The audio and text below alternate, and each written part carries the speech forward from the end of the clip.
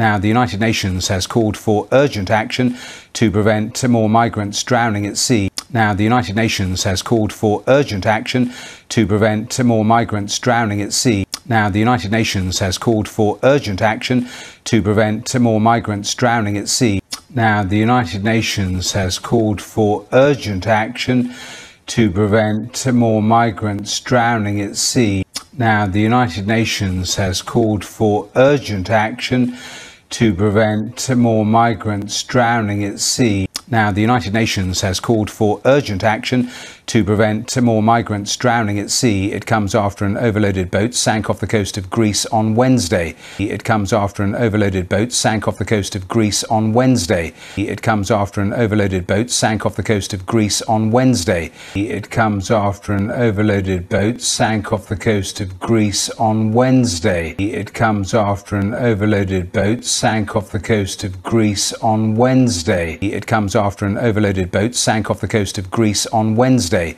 78 people are known to have died, but hundreds more are still missing. 78 people are known to have died, but hundreds more are still missing. 78 people are known to have died, but hundreds more are still missing.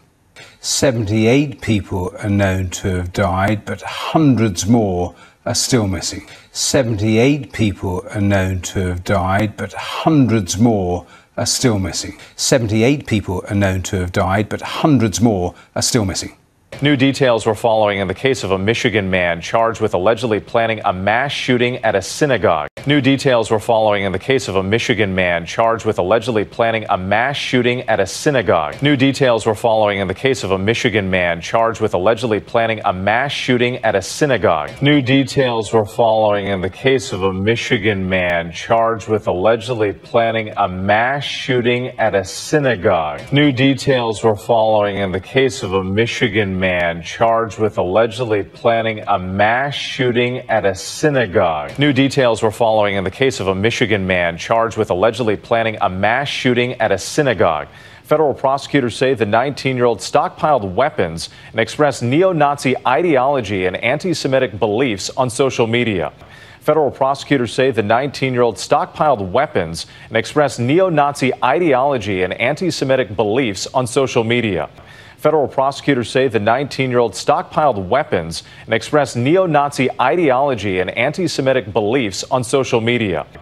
Federal prosecutors say the 19 year old stockpiled weapons and expressed neo Nazi ideology and anti Semitic beliefs on social media. Federal prosecutors say the 19 year old stockpiled weapons and expressed neo Nazi ideology and anti Semitic beliefs on social media.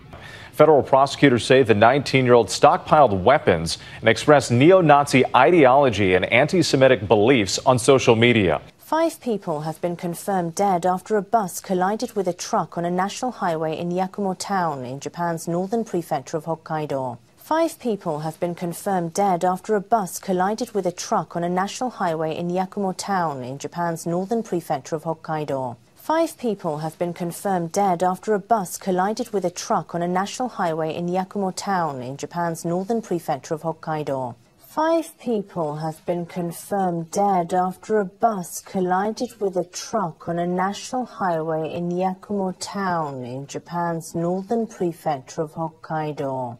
Five people have been confirmed dead after a bus collided with a truck on a national highway in Yakumo town in Japan's northern prefecture of Hokkaido. Five people have been confirmed dead after a bus collided with a truck on a national highway in Yakumo town in Japan's northern prefecture of Hokkaido.